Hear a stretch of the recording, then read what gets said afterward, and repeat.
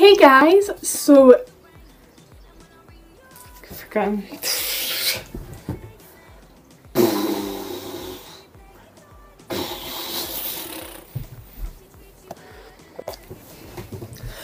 it's just awkward starting. I can't do it. I'm like, oh.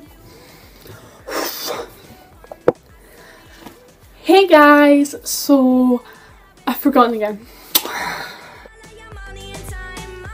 Hey guys, so first of all, I have to apologise for my background because I'm in my granny's house, I was just going to say, and there's a lovely white wall here that I was going to film, but there's a window here, and I realised, oh no, the light's coming here, but not here, so I had to move it here, so there's a bit of an ugly background, but that's alright. So today, as you know, I'm going to be testing out e.l.f. makeup. I've got a foundation, a concealer and brows. So that is not full face, I know that. But it's because I feel like with cheeks, eyes and lips, if it's not pigmented or like if it's tacky or like it's like I don't know but like if it's not pigmented or just doesn't it's not there like it's tacky you can like powder it you can build up that sort of thing with those you can't really hide so I'm just going to prep my face with my own stuff and I'm going to start with foundation. So this foundation, they didn't have my shade, like they didn't have the lightest shade. So I was going to get the darkest shade and put some like, like lightening drops in it from the Body Shop. So, but I looked through the jars at the bottom, you know the ones you can pull up, and I was rummaging around. Everyone in the shop was looking at me really weirdly. And like right at the back all alone there was one left. And I got it and I'm so happy I did. Wow, the bed just moved. So this looks really fancy, like it's glass, like frosted glass. This is just so much more fancier than like a tube or a plastic bottle. Like it's frosted glass.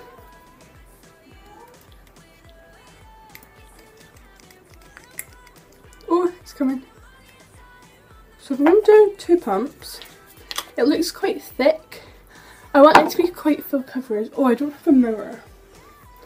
I'm going to have to use the camera. So, wow, it is quite thick.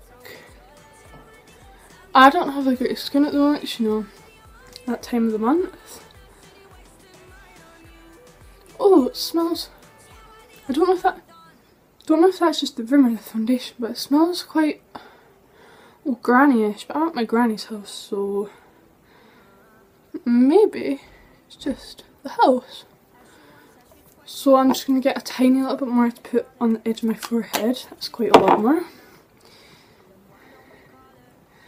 And I'm just going to put my forehead and on this mask spot here. So I've got quite a lot left, but I'm going to try blending it in.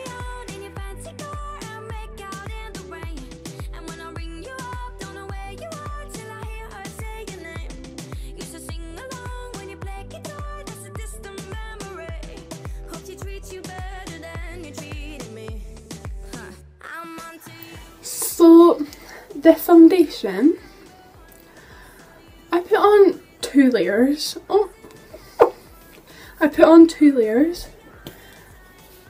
And I feel like it feels like you have nothing on in your skin. And if you it's really buildable. What I put I think this would be better with like a denser brush like expert face brush and like real techniques which I do have. But I've only got this one up with me so what I did the first time is I just put it on the same way as I'd use my Maybelline one, which is this one here. But that didn't work, so what I did is I squirted another two pumps out my hand. I can't remember how many it was. And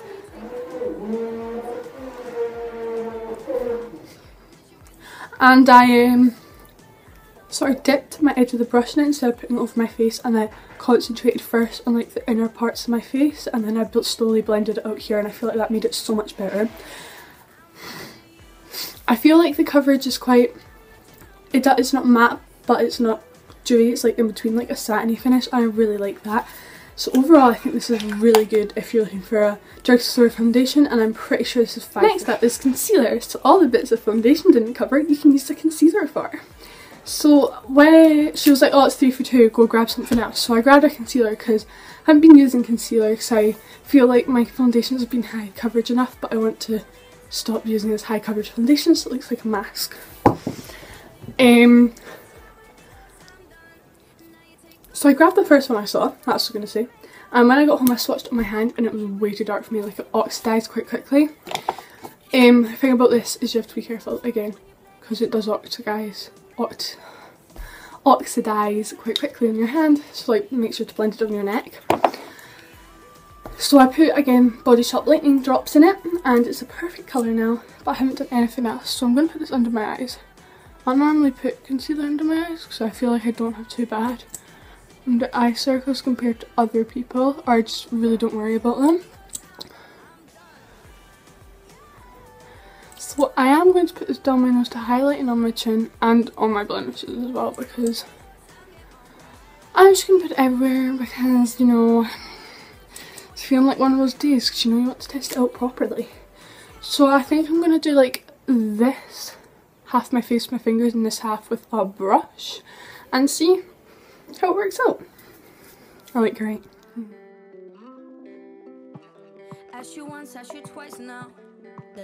Medium coverage I'd say, light to medium because if you have bad under eye bags it really won't cover them and if you, like your foundation has barely covered any of like and you have redness like really shining through it, it won't cover that either.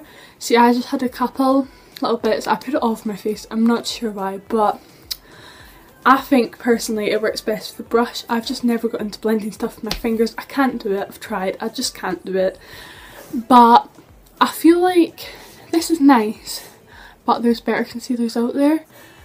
But if I had to, I'd probably repurchase this one again because I know it's good and it makes your under eyes look really bright and it does quite concealer thin, like it's alright, uh, there's nothing wrong with it, like it's good, you know, it's fine, yeah, it's good. And lastly we've got the e.l.f. Lock On Liner and Brow Cream in light brown. So you can use this as a liner if you've got black eyebrows, or you could use it like this if you wanted to, but it's a liner. And because it's a liner, when I've swatched it, it's so much more creamier because I've got a NYX one back home, dropped it, and it's really hard, like even when I got it it was quite stiff. This one is so creamy, like I put my brush in it before and when you put your brush in it, it sucks it in and you really need to wipe the product off. Oh, I haven't told you the shades. This is in porcelain, it's oil free and it's got SPF in it. This is in um, light beige, which is too dark for me, so I probably need porcelain. But if I touch it,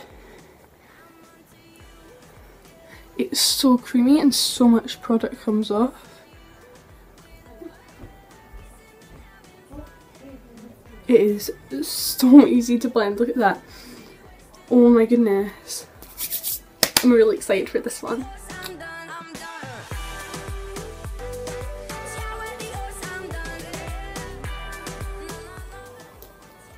Whoa! I normally really struggle doing my eyebrows. This made it so much easier. They don't look great.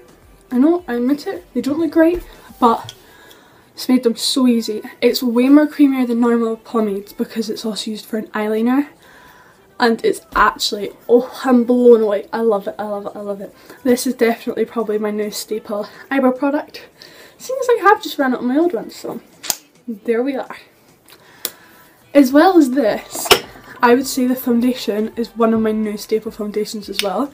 These two out of e.l.f. if you're looking for any. Foundation what's called? Eyebrow pomade. And they're blushes and highlights looked really nice as well but I, one thing I do know about them is you have to scrape the top layer off before you get like amazing stuff out of them. This is alright, I definitely will be using it again because I don't have any concealers at the moment but I don't know, I might try different ones. So that is e.l.f. makeup. Overall I really like it and I hope you guys enjoyed it. I'm going to try upload more often because I've not been uploading recently but apart from that, go back, subscribe subscribe, you know? My face. Subscribe. Bye.